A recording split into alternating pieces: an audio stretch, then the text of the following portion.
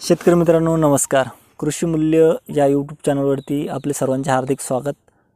तर मित्रांनो आजच्या व्हिडिओमध्ये आपण माहिती घेणार आहोत की वांगे पिका पावसाळी वांगे पिता पिकातील शेंडाळी किंवा फळपोकणारी जी अळी असते तर तिच्यावर आपण कशा पद्धतीनं नियंत्रण करू शकतो त्याबद्दल सविस्तर माहिती आपण आजच्या व्हिडिओमध्ये घेणार आहोत.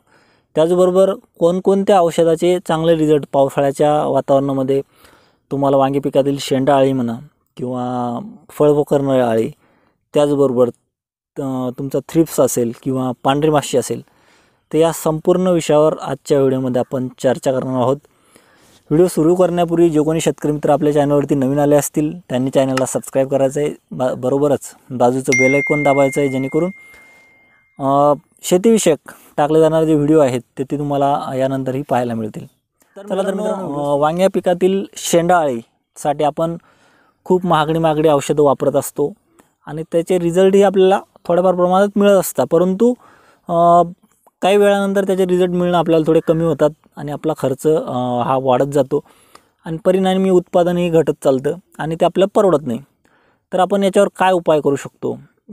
तर मित्रांनो याच्यावर एकच उपाय असतो की जे आपण औषध वापरत असतो. समजा तुम्ही आता औषधानुसारच घेऊ आपण. ठीक आहे? तर मित्रांनो ज्या दिवशी अमोश असते अमावस्या आणि पौर्णिमा या दोन फवारण्या वांगे पिकामधील शेंडाळी आणि फळपकरणारी खूप महत्त्वाच्या असतात. तर त्या केव्हा कराव्या? ज्या दिवशी अमावशा आहे त्या दिवशी तुम्हाला एकदम घाणेरडं वास येणारं औषध जसं की क्लोरो किंवा एकदम रोगर ज्याचा खूप उग्र वास येतो अशा पद्धतीच्या कॉन्टॅक्ट जरी असलं एकदम साधारण औषध जरी स्वस्त जरी असलं फक्त त्याला वास पाहिजे.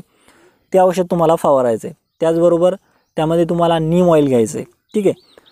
जे अमावश्याच्या दिवशी सांगतो या ज्या दिवशी अमावश्या आहे त्या दिवशी तुम्हाला उब्र वास येणारं औषध तुम्हाला फवारायचं आहे त्याबरोबर नीम ऑइल तुम्हाला वापरायचं आहे जेणेकरून उब्र वासामुळे काय आहे की जो आळी जी तुमच्या पिकामध्ये येणार आहे तर ती आळी तो पतंग घालणार आहे. तर उब्र वास आल्यामुळे तुम तुमच्या वांग्याच्या प्लॉटमध्ये येणार नाही पहिली गोष्ट तर.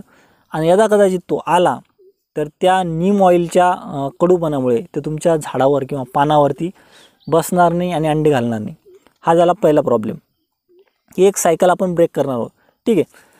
जर यदा कदाचित त्या आळीने तुमचे अंडे दिलेत आणि त्याचे पिलं ते दोन तीन दिवसामध्ये त्याच्या सायकलमध्ये निघत असतात तर त्या दिव त्यानंतर तुम्हाला स्ट्रॉंग औषधाचा जसं की तुम्ही डेलिगेट घेऊ शकता आणि युविसेंट घेऊ शकता फेम घेऊ शकता या वातावरणामध्ये शक्यतोवर युविसेंट जे आहे हा मॉलिक्युल नवीन आलेला आहे मार्केटमध्ये तर त्याचा रेसिड्यू जो आहे तो पिकां कोणत्याही आळीमध्ये किंवा त्या आळीच्या पतंगमध्ये अजून तयार झालं नाही. म्हणजे ते त्या त्याला ते पचत नाही.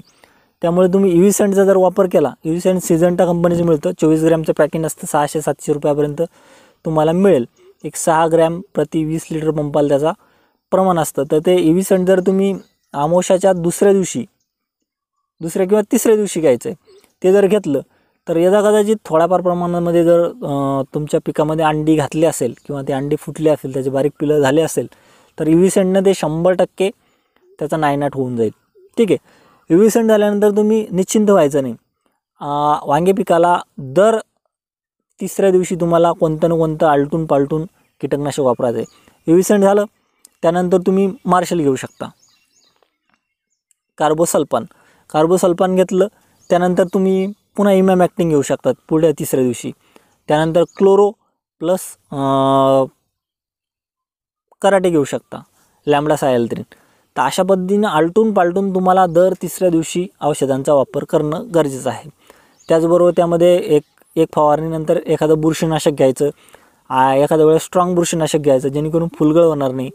आणि इतरही प्रॉब्लेम त्यामुळे कवर होतील.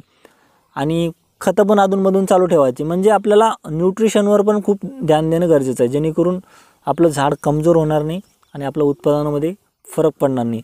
तर मित्रांनो अशा पद्धतीने वांग्यावरील जी शेंडाळी आहे किंवा फळ पकवणारी आळी आहे ते एक सिलेक्टिव्ह एखाद्या कोणत्याच औषधानं त्याच्यावरती तुम्ही किती जरी महाग आणलं तर एका औषधानं तर ती बिलकुल जात नाही. तुम्हाला तिसऱ्या दिवशी फवारा घेणं गरजेचं आहे. तुम्ही साध्यात साधा औषध फवारा काही अडचण नाही. परंतु तिसऱ्या दिवशी तुम्हाला स्प्रे घेणं गरजेचं आहे. कारण की जर यदा कदाचित अंडे आमोशाला न घालता पतंगाने दुसऱ्या एका दिवशी घातलेत तर ते अंडे तुम्ही कोणत्याही कीटकनाशकानं ती आळी लहान स्वरूपात जेव्हा बाहेर असते जेव्हा वरती सापडेल आपल्याला वरच्या सरफेसला मध्ये जाण्याच्या अगोदर तर ती मरेल. अशा पद्धतीने दर तिसऱ्या दिवशी जर तुम्ही स्प्रे घेत राहिला तर तुम्हाला निश्चितच तुमचं जर आता शेंडाळीचं प्रमाण पन्नास टक्के असेल तर पन्नास टक्क्याहून वीस टक्क्यावर घेऊ शकतो. शंभर टक्के तर इलाज होत नाही. त्यातले दहा पाच टक्के वीस टक्क्यापर्यंत शेंडाळी असते. शेंडाळी नसेल परंतु फळपोखणाळी ही शंभर टक्के असते. कारण की पतंग शक्यतोवर फुलांमध्ये जास्त अंडी घालत असतात. त्यामुळे फुलामधून डायरेक्ट फुलामध्ये अंड घातल्यानंतर ते फळामध्ये जात असतं. तर अशा पद्धतीने तुम्ही नियोजन करू शकता. त्यामुळे तुम्हाला तीस ते चाळीस टक्क्यापर्यंत फरक पडू शकतो. जसं मी सांगितलं त्या पद्धतीने जर तुम्ही नियोजन केलं तर. तर मित्रांनो आजच्या व्हिडिओमध्ये एवढंच. व्हिडिओ आवडला असेल तर लाईक शेअर आणि चॅनलला सबस्क्राईब नक्की करा. धन्यवाद. आभारी आहे.